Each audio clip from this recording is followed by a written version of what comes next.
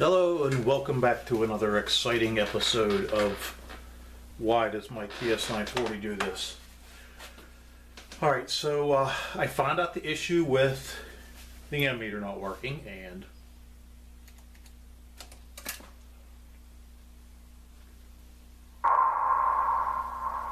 and now you'll see, let's see. Turn on the ammeter and there you have it. Ammeter's working. The uh, connector back there, it's the one with the orange and white and white wire on it. And uh, I just switched the wires. Actually, I looked that up because it's just a differential circuit basically that has a sensor on each side of a resistor going to this red power wire. wire. And I was about to test it and I thought, I wonder if there's anything in their pages. And sure enough, there was something in the forum. And the first thing that Jeff had said was, try switching the wires around. Sometimes that's wrong.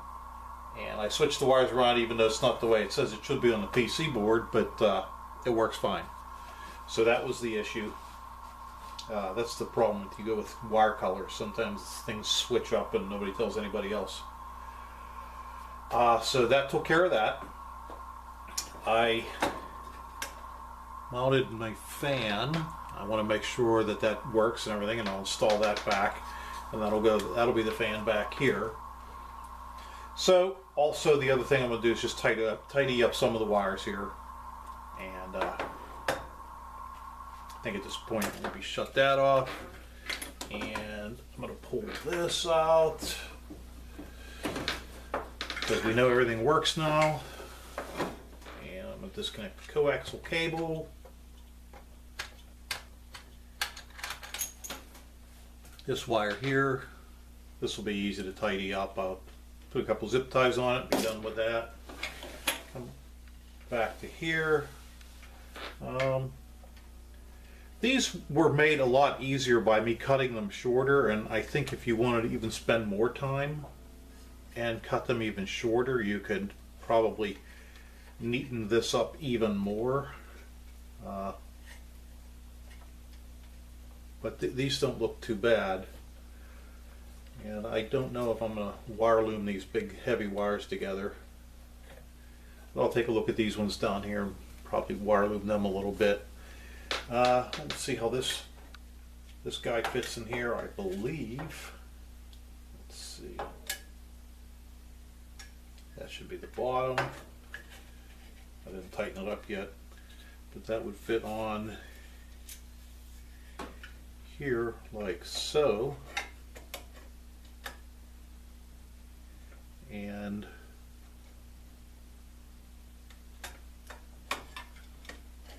yeah, that would fit there. That's right here. And then there's plugs on the board. And he supplies plugs with the kit. That would take care of that. I don't know, I don't remember if the writing went up or writing went down on this. I will have to look.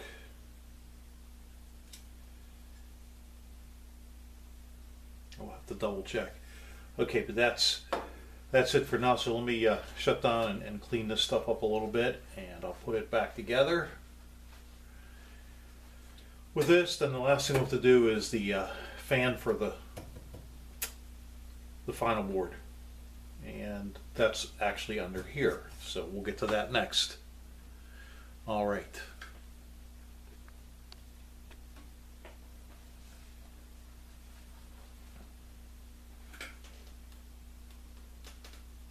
And it's still recording. So either it's shut off at some point. Okay so I'm ready to put the bottom back on as I just kind of lean the radio into it and you can see the holes all line up. So let me put a couple of screws in. At least to make it happy.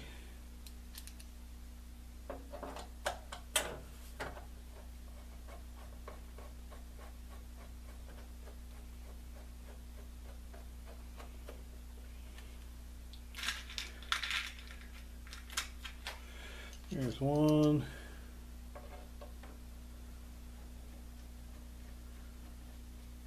Two.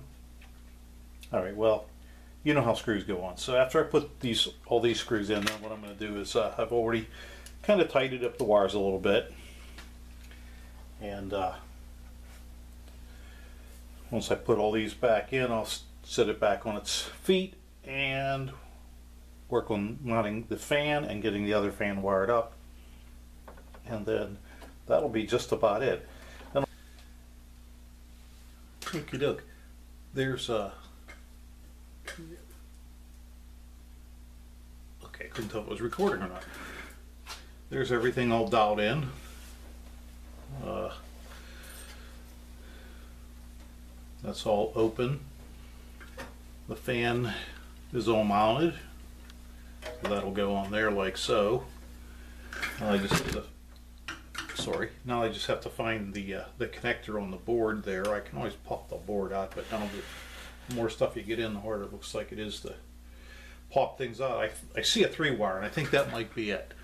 I'll have to read the uh, manual that they provided, or I'll watch this video. I, for some reason, I thought they had two different pins, but looking, he has two different harnesses here. One's a three wire harness, and one's, where are we? Okay, one's a three wire harness, and it looks like it has two reds and two black. I guess it's actually a four wire harness.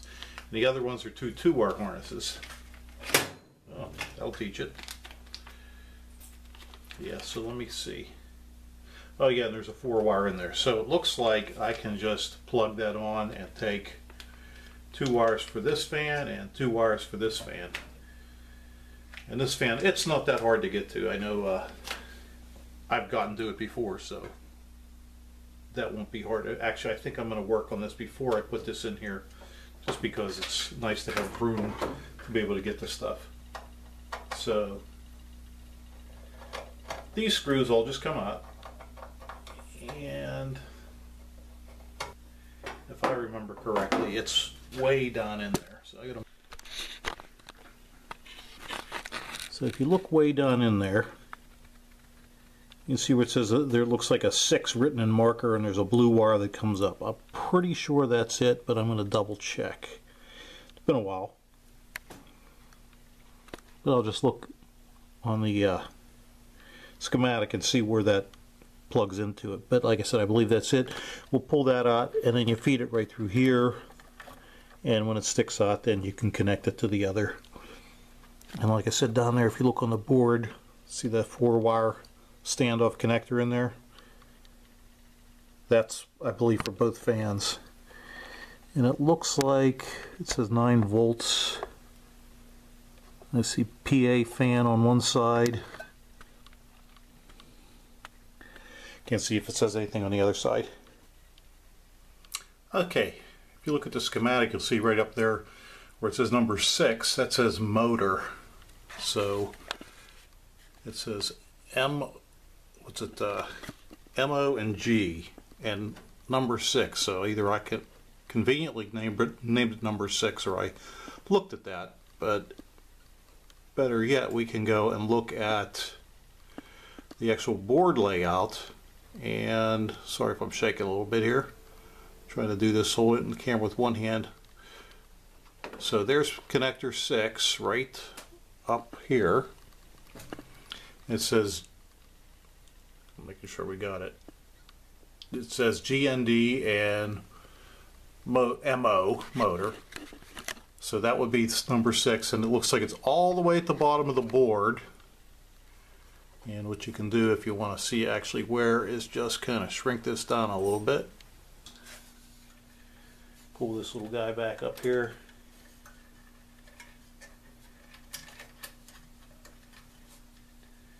I can even wind it around these two wires and get a little bit more freedom from it. There we go.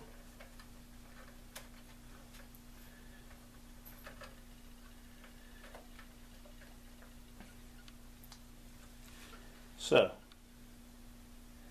now I know when I was looking down at it, we could see the number 6 the way I had it drawn.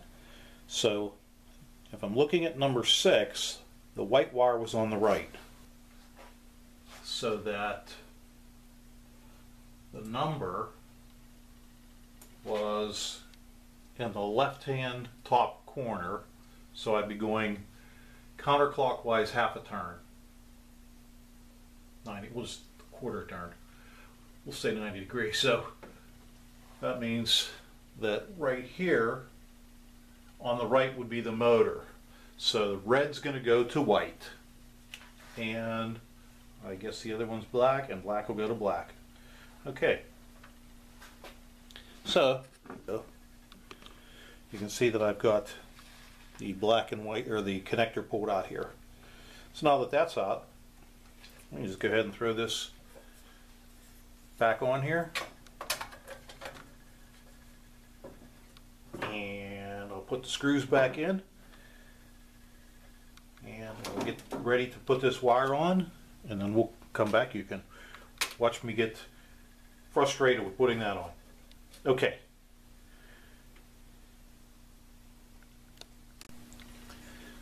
Okay, so here's what I'm going to do. I have some uh, contact pins, you know, just for regular pin-out connectors. And uh, you can get them on Amazon or wherever you, there's about 20 in a uh, strip, and you break off what you need.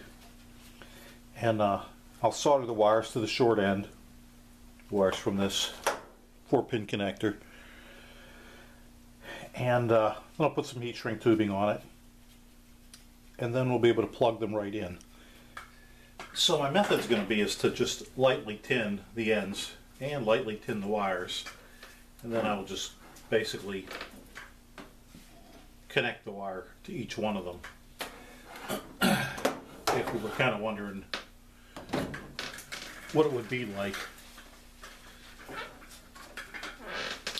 So let me grab the soldering iron and I'll, I'll show you on one or two.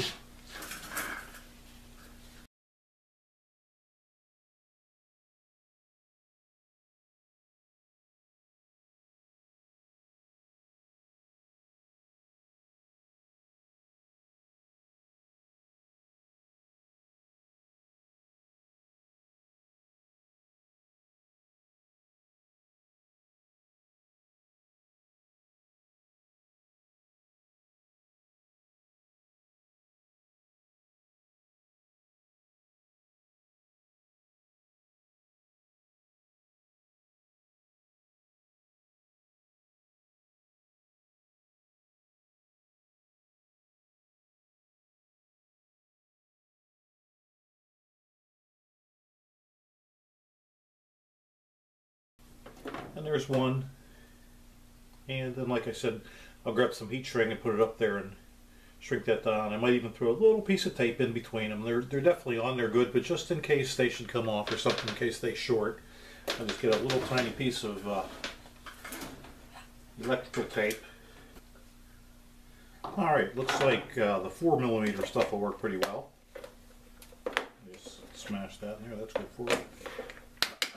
And we'll get that out of the way. And we'll just put this over here.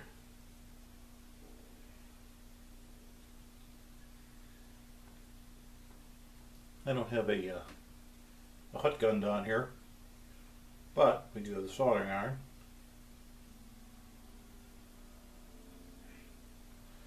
So, as you can see, I just put it over there and I roll the soldering iron back over it.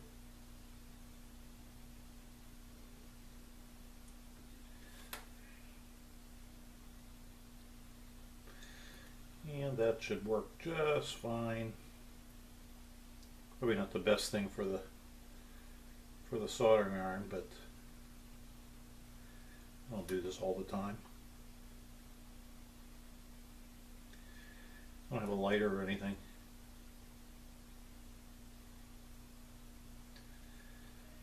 I looked at those hot air guns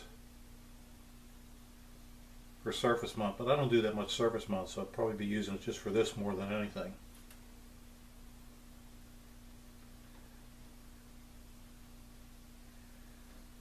Okay, so that's it. That's how one side will look. Okay, got the plug on inside there.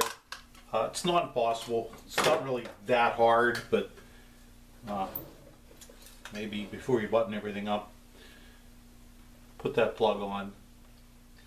Fortunately, I, the way I had my wires run, I was able to get to it pretty easy, but if you have a large bunch of wires that you're zip tying together, um, you might want to get that plug on ahead of time. And again, if you want to spend some extra time uh, making your wire shorter, you could do that as well. I could have made these a little bit shorter. Probably could have made them a lot shorter. Um, so let me put this up in place. And then we'll turn it on and make sure the fans work.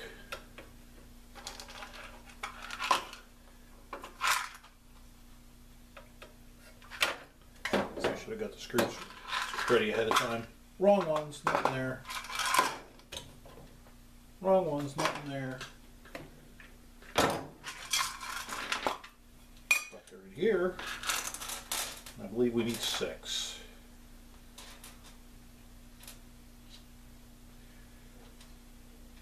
Two, four.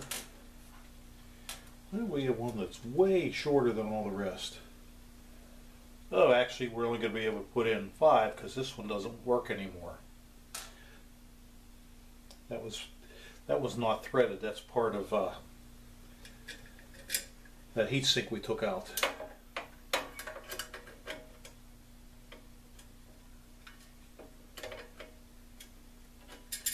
Yeah. So now we're going to power it up and make sure everything still works, namely those fans. Transmit's turned off. We're good there. Okay, can you see? Set.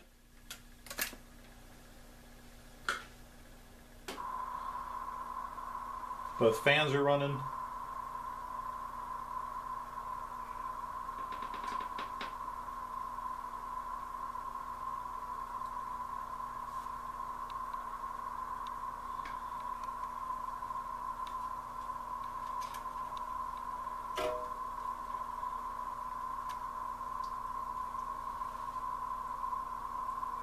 Alrighty, that should be perfect. Like I said, I think I'll I may put some tape on the fan connectors just to make sure that they stay connected. I mean, they're running, everything's running, but uh,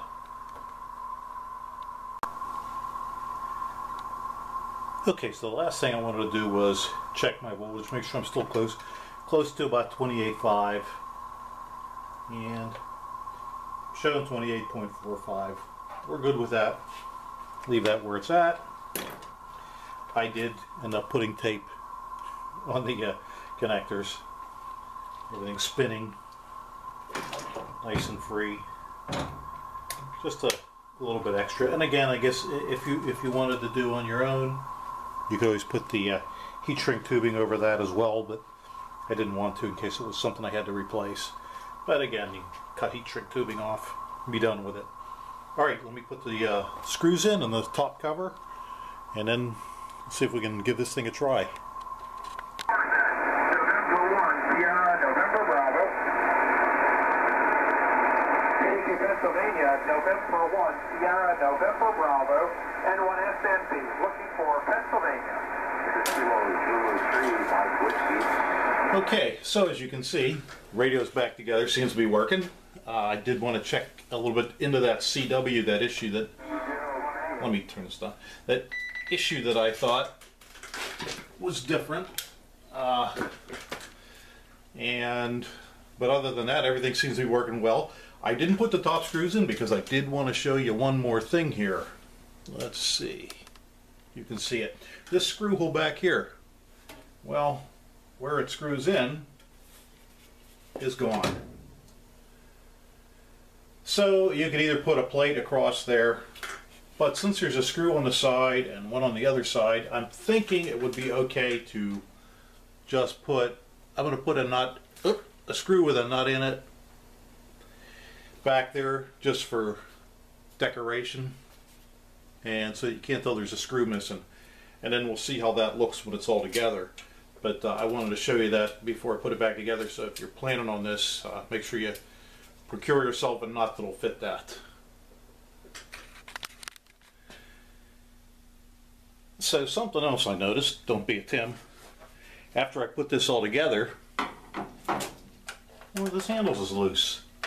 And of course, I gotta take it back apart to get to the screw. There's screws inside for these handles. So if you're doing one, check that while you're in there. I can't believe with all the times I've had this apart, I've never checked that or noticed that. So that'll just take a couple of minutes. I gotta pull the cases off again, but be back. Alrighty, got that back screw in. Looks good. Don't even miss it. What I'll tell you is when you're tightening it down, though, push down on this when you tighten the side screw in over here because that doesn't work anymore. Uh, the top, it sits really tight right on that uh, power supply, but it still fits. Everything fits okay, no problems there. Uh, with the CW, oh, and I tighten my handle up on the side, with the CW, uh, the noise I told you, I think what it was is I never really had the volume turned up that loud in the CW in my life. So when you turn it at a normal level, you don't even notice it. So it might have done it all along because I don't think there's any logic on that board that controls the transmit relay section. But there's send, nothing. Uh, even if I go nothing, but if I make sure I'm in the dummy load, yeah.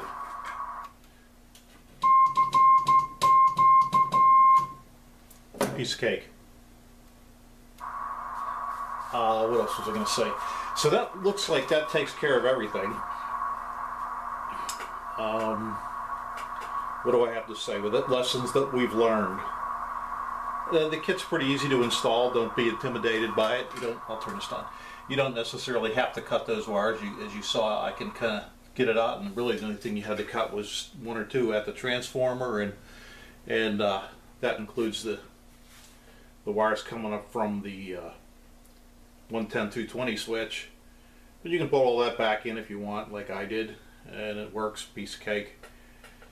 The uh, Jeff over at CompuDigital is uh, real good to work with. Uh, like I said, I called the help desk there, or the uh, their helpline there on a Saturday afternoon, and I think he was riding down the road to buy some paint. He answered the phone and uh, thought I was having a problem with the with the Quinn power supply. It was kind of just like a shotgun deal, like, hey, I'll send you one out. And uh, he sent one out. I tried it, and it didn't fix the problem. Here it ended up being all along that must be a timing issue where the it comes through the switch and where the power supply gets comes on afterward after this the switch is closed on the board probably gives that time for that uh, inductor to start its its field and charge those capacitors but uh, that's just my assumption anyhow it's up and running and uh, it works it's definitely still a heavy radio, even even without that stuff out of it. I think it's still a heavy radio. But um, thanks for watching, and uh, if I have any more information, I'll put it out there. But I believe this should just about sum up using the TS940 as my guinea pig. Thanks for watching.